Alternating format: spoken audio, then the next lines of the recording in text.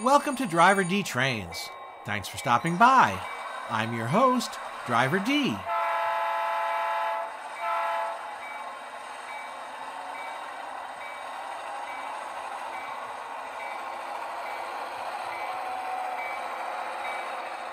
We're joined again today by our conductor and brakeman, Scratchy C.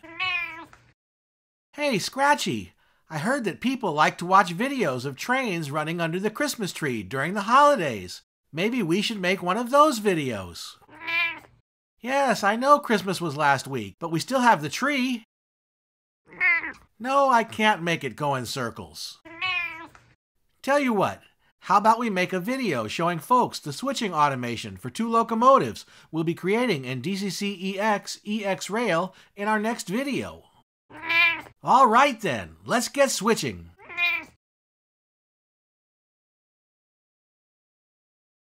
Bonus switching video number 2. Switching the Christmas tree in DCC EX EX Rail. This automation features two locomotives working together to switch three freight cars from one track to another. It could easily be adapted to as many cars as we like.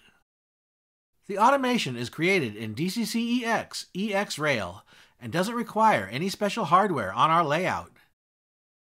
If you haven't already, be sure to check out my video series on creating automations in DCCEX EX Rail. We'll be developing this automation together in the next video. The automation actually consists of two separate automations, one for each locomotive, that work together in tandem.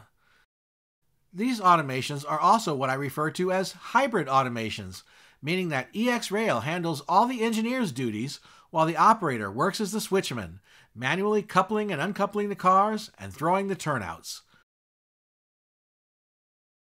Let's see how they work. The action starts with the locomotive on the lower siding. Its job is to spot the freight cars one at a time at the end of the right hand spur. A festive red CP 4405 is working the siding today, so we'll assign it the Spot Cars job and dispatch it to DCCEX to handle the rest.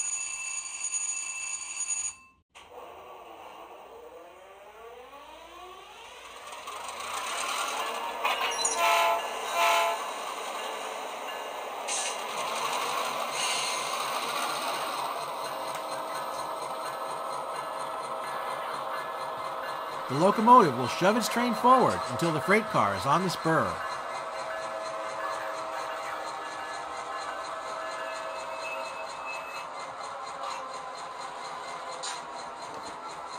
Then, after we uncouple the car, the locomotive will back up on the spur to clear the turnout.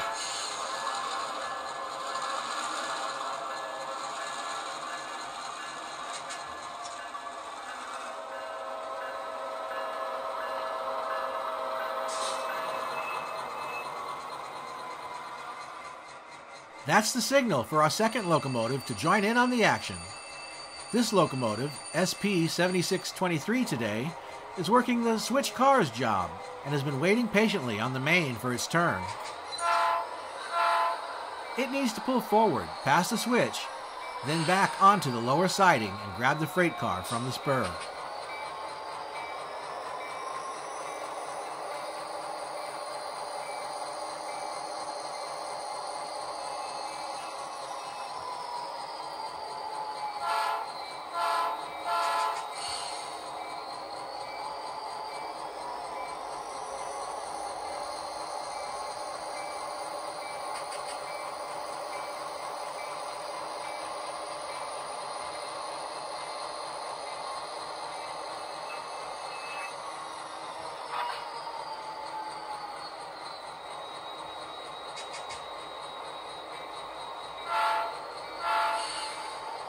It then pulls out onto the main and past the turnout to the upper spur.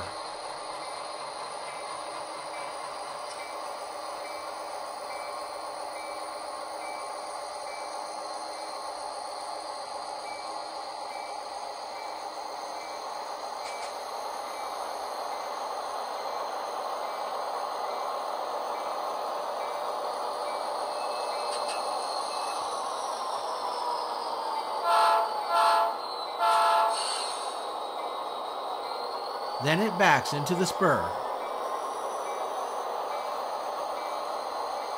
It needs to slow down as it shoves the freight car around the bend.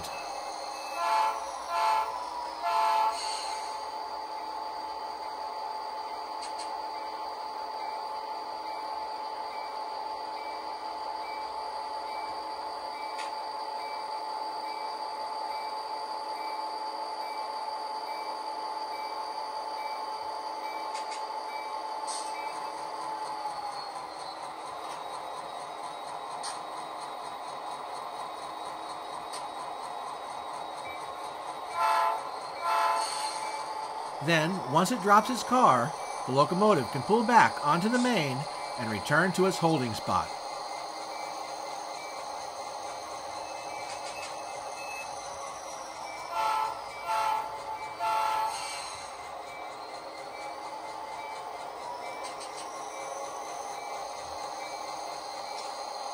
Dun dun da da dum da da dum da da dum dum dum da da dum da da da da dum Uh, oh, what was I saying? Then the process starts over as the first locomotive spots the next freight car, and so on. Let's watch.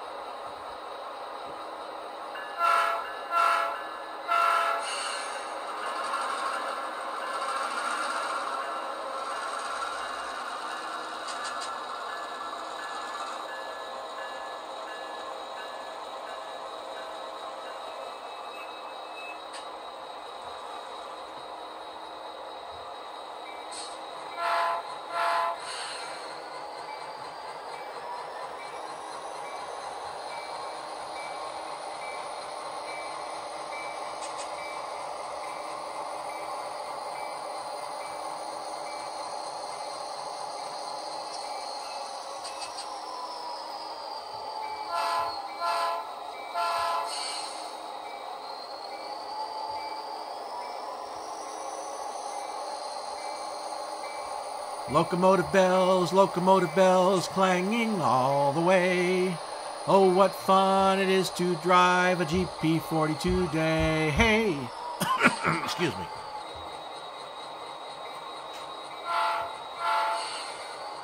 All the locomotive functions, including the lights, the horns, the bell, and the coupler sounds, are handled by the automations. The automations can also switch all the turnouts. I use manual switches on the D-Saver layout, but we'll look at how to control the turnouts when we create the automation in the next video.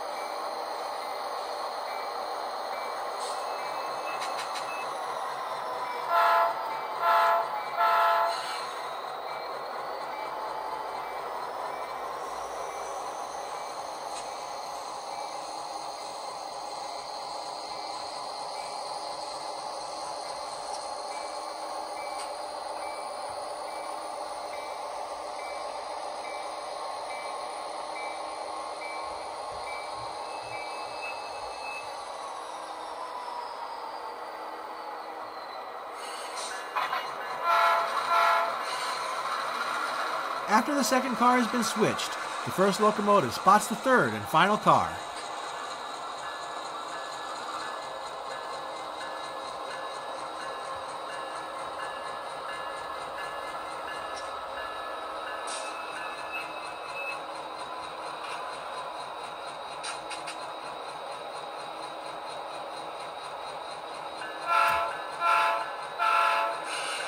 It then backs to the far end of the siding and shuts down.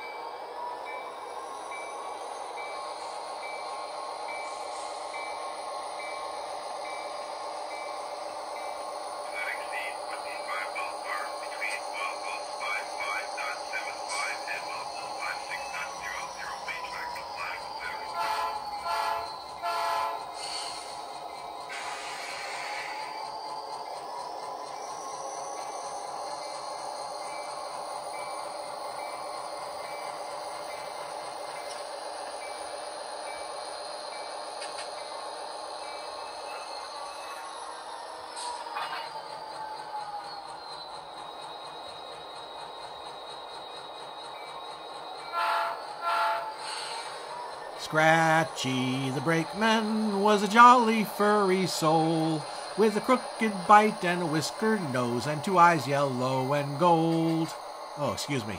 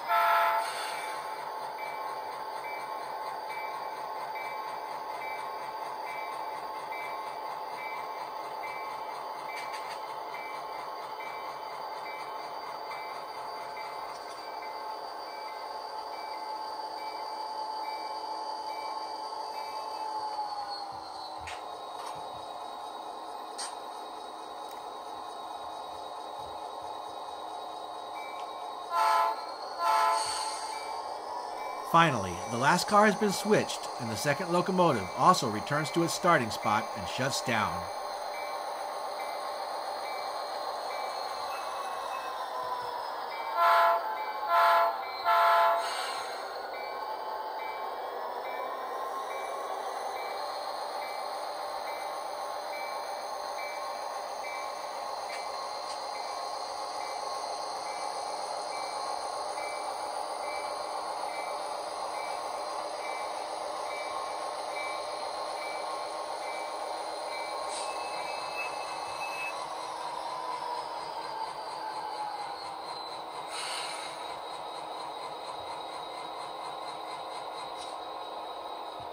Another successful delivery completed under the Christmas tree.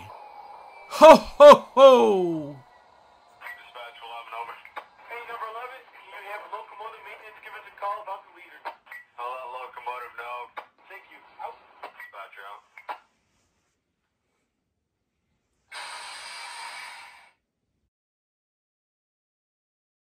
What's next? Automating two locomotives with DCCEX EX Rail. In my next video, we'll develop the two automations and various sequences we just saw in action, watching two locomotives working together to switch freight cars from one track to another. To do this, we'll learn some new ways to control the flow of our automations so that they take turns working in tandem. And again, we'll do this without needing to add any additional hardware to our layout. After that, we'll look at how to add a second LCD to our DCCEX command station and use that LCD to display information about our locomotives. Be sure to subscribe to the channel so you don't miss those upcoming videos, and check this video's description for links to my other videos, including my video series on assembling a DCCEX command station and my series on using JMRI's Decoder Pro app to control our trains. Until then, thanks for watching. Well, Scratchy, do you think Santa would approve? Well then, next time I'll remember to leave milk and cookies. All aboard!